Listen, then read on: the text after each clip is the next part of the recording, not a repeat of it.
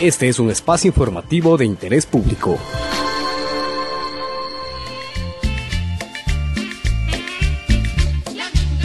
Minga, por el volcán Cotopaxi. Hola, vecino Pedro. ¿Qué tal, vecina María? ¿Cómo le va? Muy bien, vecino. Vea, vecina María, quiero compartirle desde hoy el plan familiar de emergencia Veo que usted junto con su familia están autopreparándose en caso de una eventual erupción del volcán Cotopaxi. Sí, vecino Pedro, en las capacitaciones que mi familia asiste, ahí les han dado pues a conocer cómo preparar el plan familiar.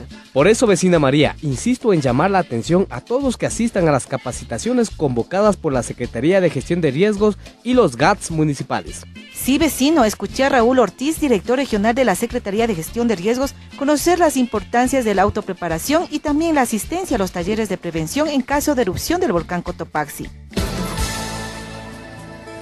Esta semana que viene, el viernes, un gran taller con 42 florícolas de la provincia para preparar planes de gestión de riesgos y simular. Todos hagamos lo mismo, hagamos los planes con entusiasmo. Acordémonos que la seguridad comienza en casa. Recordémonos que tenemos un gobierno responsable la revolución ciudadana y estará junto a ustedes todo el tiempo.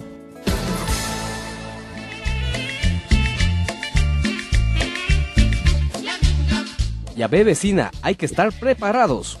Sí, vecino, vea vecino y dígame, ¿qué es el plan familiar? Es el conjunto de actividades que debe realizar una familia con el fin de reducir riesgos que afecten negativamente su bienestar y realizar preparativos para reaccionar adecuadamente en caso de emergencia. Ay, ya, vecino, entonces cuénteme cómo hacer mi plan familiar. Vecina María, tome nota de lo que es un plan familiar de emergencias.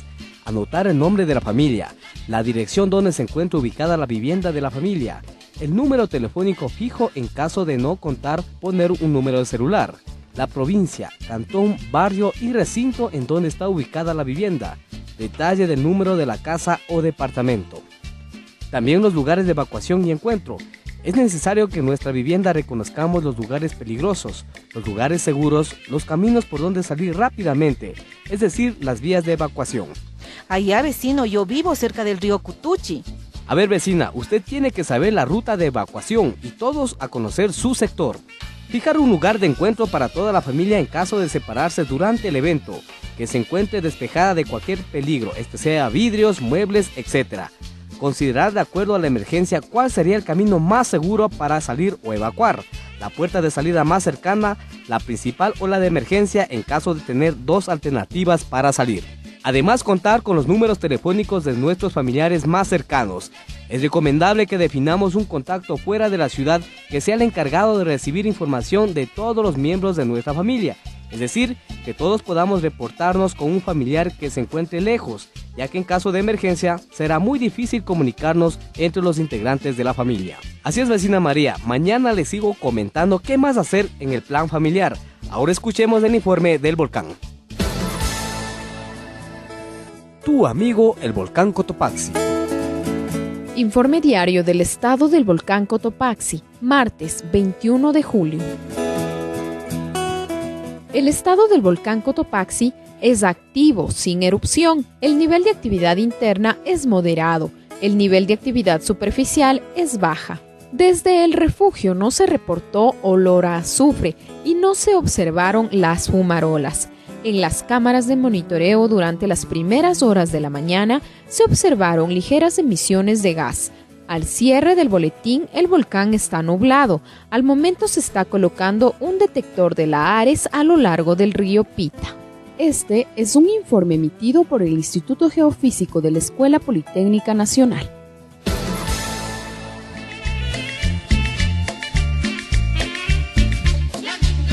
Vecino Pedro, hay que tener tranquilidad y siempre estar atentos a lo que dice la voz oficial.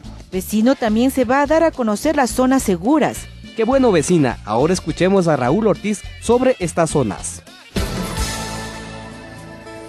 Las zonas seguras que tenemos, insisto una vez más, ¿no? Verificando, las encontramos, pero le puedo responder este momento. Para la Ciudadela Casola tenemos San Buenaventura y, Colatoa. Para la Ciudadela Casola y condominios de la FAE. Para la urbanización La Libertad, la parte alta de la Cocha. Para el Colegio Hermano Miguel, la parte alta de la Cocha. Para la urbanización Aranjuez, también la misma parte mencionada. Para la Ciudadela El Carmen, San Martín. Para las Ciudadelas El Carmen, Calle Norte, Chiriboga Jacome, El Nilo, es la zona de San Martín, para la cooperativa Vivienda Estrella de Israel San Sebastián, lo mismo que para Norte Barrio Chile, la urbanización Los Sauces, la Ciudadela La Cocha, también la parte alta de La Cocha, las anteriores la Ciudadela San Sebastián. Para la lotización de la familia Cepeda San Sebastián, para la base aérea San Martín, para el aeropuerto San Martín, para el barrio Chile, el Calvario, para el barrio San Blas, Gualundún, para el barrio La Merced San Sebastián, para el barrio Centro, el Calvario y para el barrio San Francisco, el Calvario.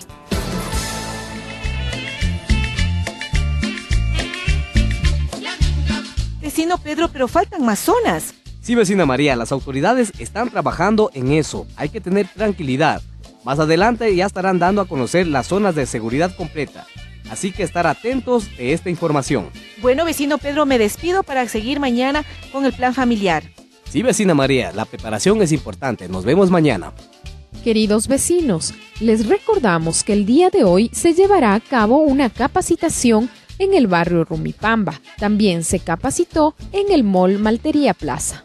Si usted está debidamente informada, informado y actúa con serenidad, evitará hacer cosas inadecuadas que podrían ser producto de la desinformación y del pánico. Este es un mensaje de la Gobernación de Cotopaxi y esta emisora.